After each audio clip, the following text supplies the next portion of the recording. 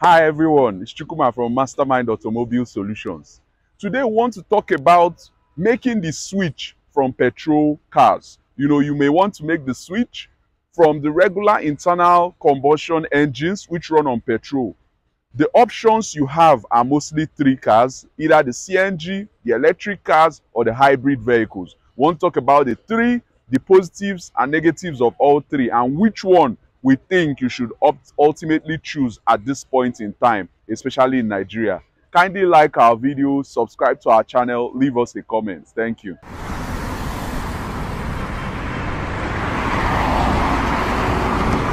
So you want to make a switch to buy fuel don't tire you. You're spending too much on fuel. So you're considering what should you switch to? There's the CNG, which the government is really pushing for. They've even established areas or you know places that you can do the conversion in your vehicle. There is also the electric cars, which our own indigenous company, the Innoson Vehicle Company, has rolled out, you know, very recently. And then we have the hybrids that have been with us, which have been perfected specifically by some brands. So within these three, you would make an option if you want to switch from petrol. Now, don't forget that the hybrid would still use petrol, but is running on batteries which works with the petrol and your normal internal combustion engine to give you you know the power and make you spend less on fuel. So we are looking at these three and um, we are going to help you choose. So kindly stay tuned. You might learn a thing or two. You might also be able to choose which one is best for you after this video. The first on the list is the cng now almost everybody in nigeria must have heard about cng the compressed natural gas which the government is pushing, which is gaining prominence. Now, what's happening really is um, people doing the conversions, moving from the petrol to the CNG. So with your regular car, you can get it converted to the CNG. So it's now going to run on this uh, compressed natural gas instead of your petrol because you're going to make some adjustments to accommodate the CNG. So what are the positives of using this CNG? First off, you're going to spend less on petrol. So the petrol is about 1,000 naira, even more in some places. But with this CNG, is a lot less. I've heard people talking about 250 naira or thereabout. And depending on the cylinder you have in your vehicle, it could take you for quite a while. It may take you more than what a full tank may take you, or it may take you even less. It just depends on your cylinder. But what's important is that you end up spending less on refueling you know, the car. For example, when you run out of gas to put back CNG in the cylinder is going to be less than fueling your car, especially over the long run. Now, this is good and this will also help you conserve fuel, but then it's not without its own drawbacks. And what are the drawbacks of this CNG?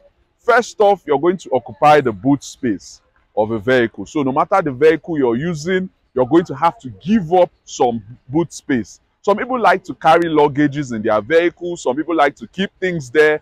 You know, for my own vehicles, you usually see some tools in it. So I would normally have to give up that space if I'm going to consider the CNG option. So it's important that you keep that in mind. Another thing you have to keep in mind is that you would lose some power. Of course, with the um, conversion, you would lose some power definitely because you're going to be running on another system that the car wasn't designed with. So even users of this CNG will tell you that, oh, the car has lost some power and in some cases some torque. So it's important to note this while you plan to do this, you know, to follow this route towards saving petrol.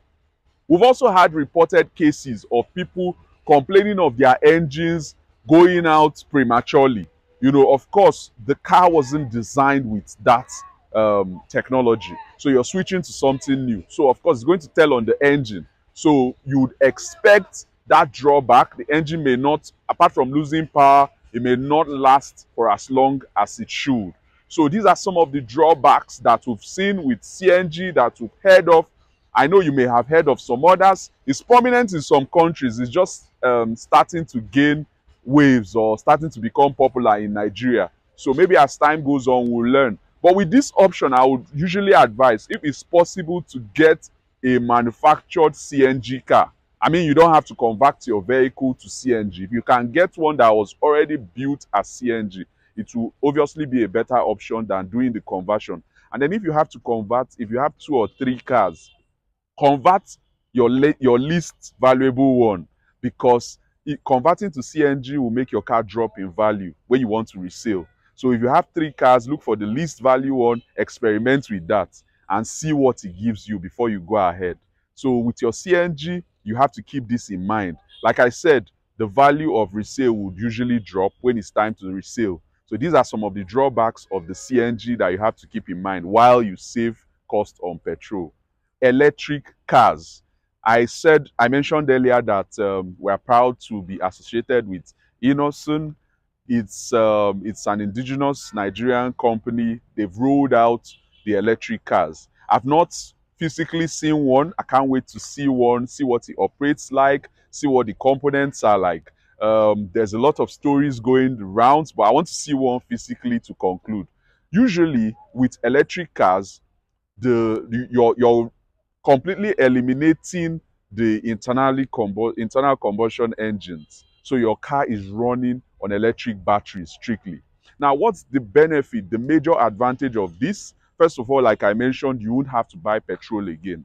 The second thing is that it's going to run cleaner. So emissions, you know, all the problems with emissions and um, internal combustion engines are eliminated. So you're going to be dealing with a clean vehicle, especially according to the manufacturer. So electric vehicles would also eliminate all the repairs and maintenance associated with your normal cars, the ICE cars, you know, the internal combustion engine cars. So when you're dealing with electric vehicles, you're just going to be dealing with charging the batteries and then you can run. You're not dealing with petrol again. So it's a good switch if you look at it.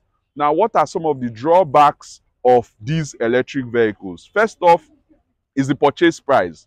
If you want to purchase an electric vehicle, it's going to be expensive. You know, if you even ask those that have bought, they will tell you that, oh, it's a whole lot, you know, more expensive than buying a regular vehicle. So electric vehicles will be more expensive. I've not looked at the prices Innoson is offering, but I'll tell you that it will usually be more expensive than the normal cars if you're buying them, especially because you're buying them brand new. So I've spoken about the advantages, and then this is one of the disadvantage. Secondly, we have infrastructure problems currently with our electricity. So if you're buying an electric car, you have to keep in mind, you have to plan for how you're going to be getting it charged because it's going to have a driving range which will be limited. So you need to get it charged so that it can serve you for the period of time you can use it. So if we have the charging points scattered all over the place, and if you can, if it's possible to even have one in your house, then that would really make sense. So you can charge for a while. So you have to keep that in mind as you use or plan to switch to electric cars. Also would be the resale value. So if you're doing electric cars, any day you want to sell it, of course, people are going to price it less, you know, than it should really be. It's going to lose a lot of value once it becomes used. So you have to keep that in mind um, that is going to lose value as you make that switch. Because if you're moving to electric cars, you shouldn't really be concerned too much about resale value because yes, it's going to be lower. And um, we don't know, they will still be brand new, but in future, as they become more prominent, you, you'll, it will be expected to see some problems with technical know-how. But hopefully, we expect that um, it's going to be solid enough to serve for a while and then we'll probably have warranties to cover these bits. So keep in mind some of these drawbacks as you go for the electric option. And then lastly is the hybrid option. The hybrids have been with us. Some brands have perfected the hybrids. I would say I've seen what Toyota has done over the years with the Priuses and even with the Corollas now. So they stand as probably number one with the hybrids. So we would want to see even our indigenous companies push out more hybrids. Now with the hybrids, the interesting thing about the hybrids is that you're still going to use petrol. You're still going to use the internal uh, combustion engines, which we use. But now you have them work with hybrid batteries. You know, it's a hybrid system. So it's a combination of your normal traditional engine and then the hybrid system. And you're also going to be using the petrol and then the batteries. The hybrids have stayed for a very long time. So if I'm going to choose which of these options to go for at this moment, I will go for the hybrid because it's well, it's tested over time. And then I don't have to do with filling up cylinders or looking for charging uh, points to charge the car. And the good thing about the hybrids, especially proven ones, is that they can last for quite a long time. You can go trouble free from brand new till 150, 160, 200,000 miles, trouble free. Now, I reviewed a hybrid last year. I think it was a 2020 model. I would attach the link to this video. It's a Prius, Toyota Prius.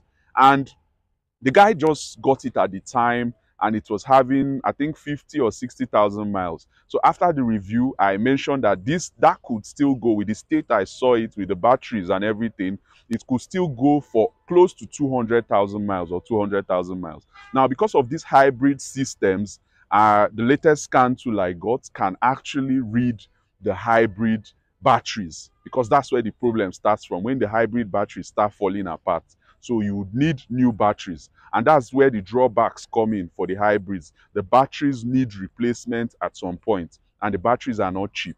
So if you're using a hybrid, it's advisable don't buy one that is too old or one that has racked up too many miles because it means that the batteries have also been used and may be on their way out.